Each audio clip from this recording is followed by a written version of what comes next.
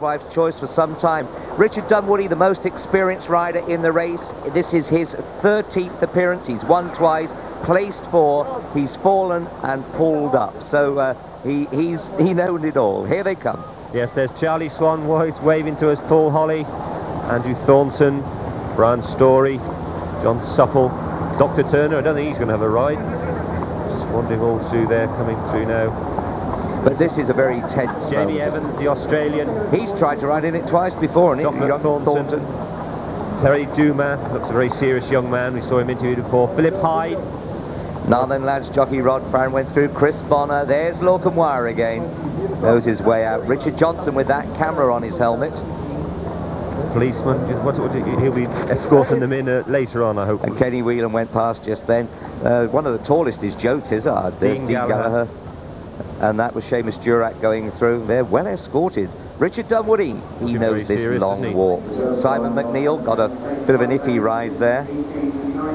But this, of course, is uh, what they want to do. Richard Guest, he's been second in the race. He's a cool customer.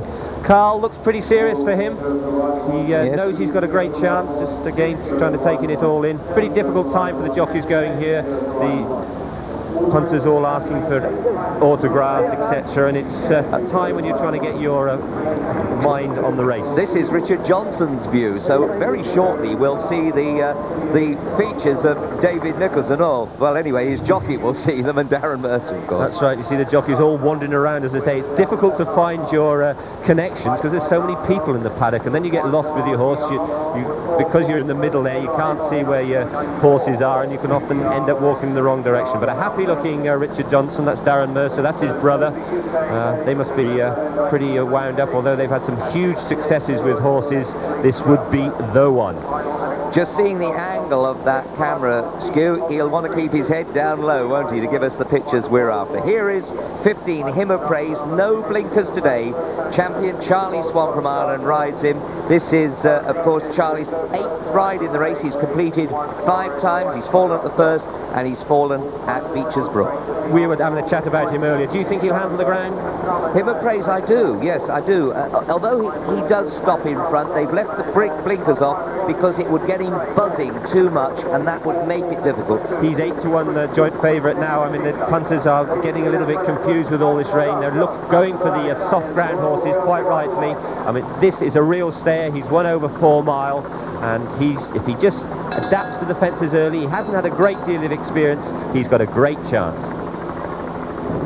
Well, just here behind me are the connections of Earth Summit now. Co-favourite of three, we've got Carl Llewellyn getting instructions from Tom Jenks, who would have ridden the horse. I've absolutely no idea. No idea what to do. He said to go out and get drunk last night, but I didn't do that. Very delighted. Well, best of luck. Have a good ride. Tom Jenks would have ridden the horse, but he's got a broken leg, so Carl Llewellyn takes over, rather similar to when he took over on Party Politics. Yeah, you've Nigel Payne looking very, very worried there. Carl looks the most relaxed of them. I mean, you've got to be a pretty brave man to be sort of joking about things like that when you're uh, about to go and ride in this race. Let's have a look at the market. Earth Summit 8 to 1, joint favourite with Him of Praise. But 9 to 1 drifting is Rough Quest. 9 to 1 Suny Bay, the same price Samlee. Then 12 Challenger du Luc, 14 Northern Lad, Banjo at 16. Ciel de Brion, he'll have a chance at 20s, the same price Doonbell the mare. And Killishin has come right down, rocketing down to 20 to 1 because of the ground. But that's what's interesting. All those horses in that betting have won or light soft ground. Challenger du Luc may be the one exception. Richard Johnson's eye view, he's looking ahead of him at Northern Lad. Will he be seeing that same backside as he comes up the run-in? Challenger du Luc and AP McCoy. We've marvelled at this man this week.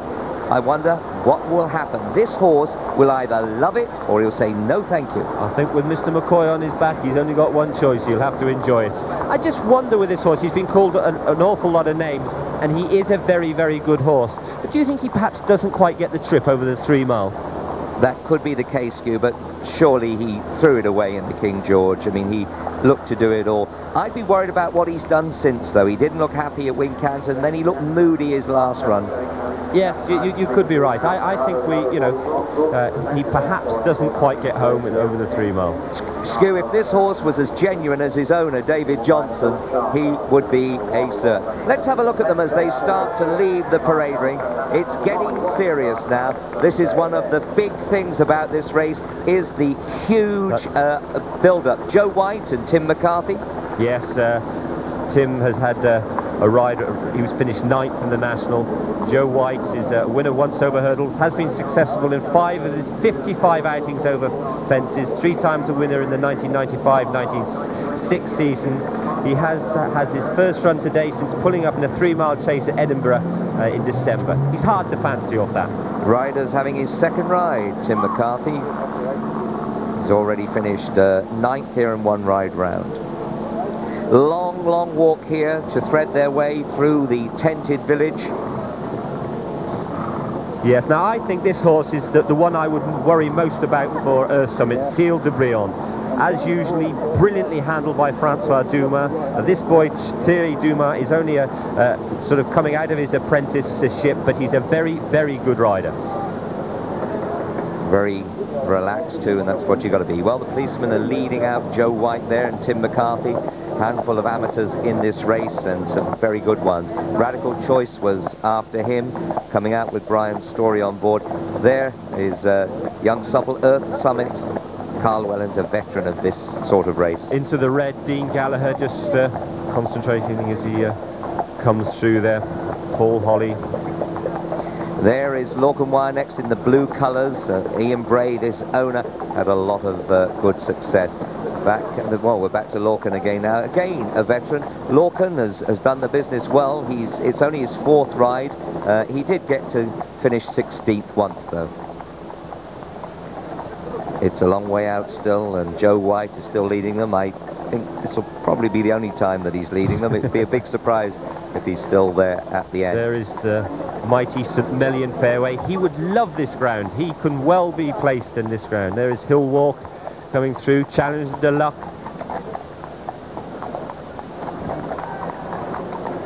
We've just had some amazing news. Suny Bay is the best turned out, and Phil Sharp, who's been well, uh, he, a lot of column inches in the papers, gets 300 pounds from Martell for his efforts there. So it just shows um, grey horses don't often win these prizes, but obviously his dapples were shining through and he's got the prize.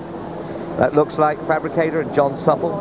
There's your horse, Skew. Earth Summit, he looks remarkably relaxed, doesn't he? Uh, that's a good sign.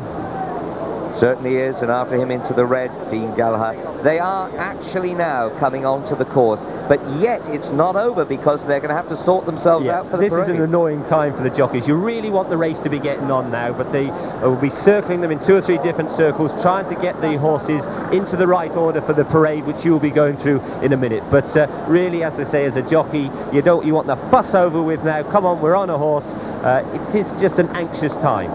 There's Chris Maude and What a Hand. There's Court Melody. Paul Nicholls looking very serious to the right in the blue shirt, just uh, checking the girths of uh, Timmy Murphy. Northern Lad behind him, to just to the left, the white with the black stars. Yes, Northern Lad, big horse. He, he's got a lot of scope. He jumps well. David State, assistant to his wife there. And Joe Harvey, uh, her brother, going out with the horse. Well, everyone's uh, got a bird's eye view. Those who live locally don't have to pay to come in. Just get a pair of binoculars, open the window, don't worry about the rain. And what a price that would put on a house down the embankment. You can got a, a bird's eye view. And good to see so many more people coming out to the embankment this year. We want the people here. That makes the race. That's right. And as a jockey, you can hear the cheer from the uh, crowd as the uh, tape goes up and you can hear all the chatter all the way down to Becher's. Skew, there are two greys in this. That's Diwali Dancer, the second of the Martin Pipe trains. Ray Alford, a great friend of Martin's, just seeing that uh, he was okay. Diwali Dancer, though, the trip is a huge worry for this one. Yeah, he jumps pretty well, hasn't he? He won three uh, uh, chases early in the season. And Martin Pipe, multiple entries in this race. And with this soft ground, you know, we've seen Point Avon in the past. Who knows? If you can't, uh, if you don't compete, you can't win. Robert Thornton, Chocolate Bob, they call him. A young rider, good rider he is. And he's having his second ride. He fell at the 13th fence 12 months ago. It takes a while. They get them in two groups here in order to get them ready for the parade.